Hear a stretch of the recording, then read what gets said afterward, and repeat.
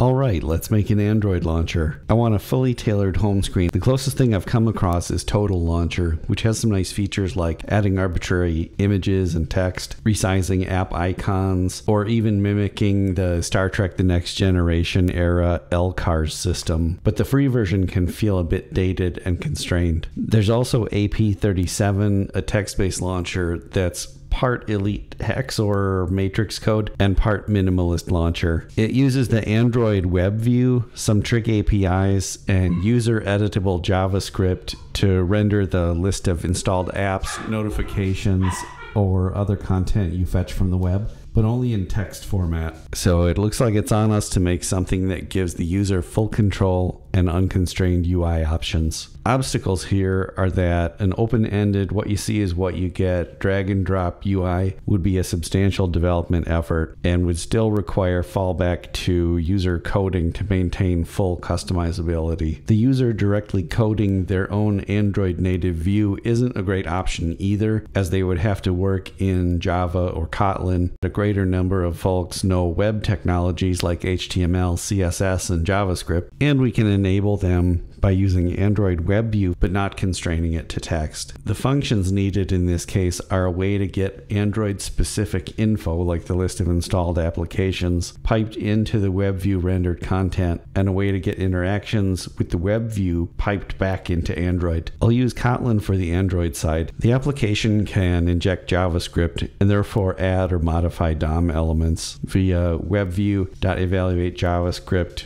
insert your JavaScript here, comma null. From the WebView UI side of things, JavaScript can call functions in the form of Android.yourfunction and pass along your parameters via an at JavaScript interface bridge. There are four critical files, and I'll step through each. So if you want to play along at this early stage, go ahead and fire up Android Studio and create a new project of type empty activity. Android manifest.xml, which you can find in your app slash src slash main, notes that the app needs internet connectivity, will query for packages with .main and .launcher category, and that the launcher app can be the home and default app. Activity underscore main.xml in app slash src slash layout establishes the layout constraints and the web view. Index.html in app slash assets defines the initial content of the home screen as HTML in the body tag with a div identified as app list being a placeholder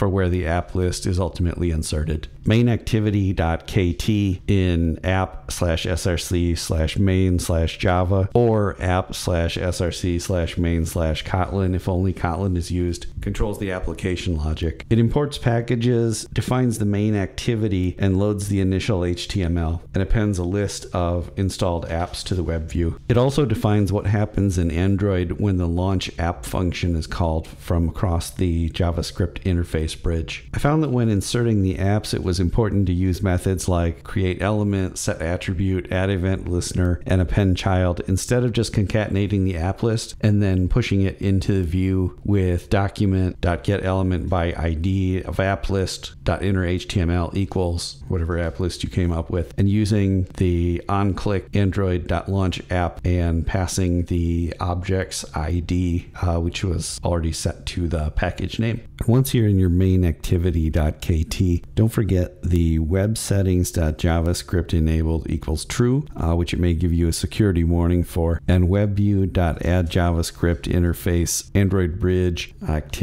passes this, and the name is Android, so that'll let you call across the Android bridge class using JavaScript in the form of Android dot whatever your function name is. In this case, we want to launch an app, so the function's called launch app, and it sets an intent, getting the activity package manager, get launch intent from package of that package name, and starts an activity with that intent.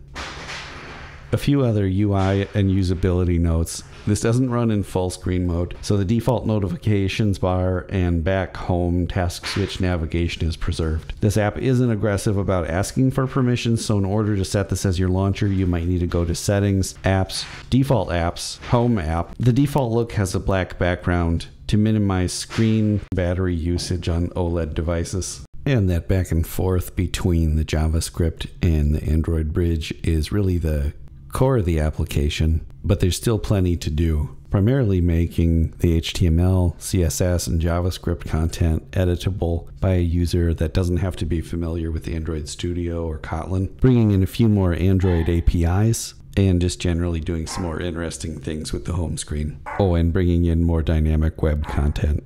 And as always, get the code at github.com slash TEC-IST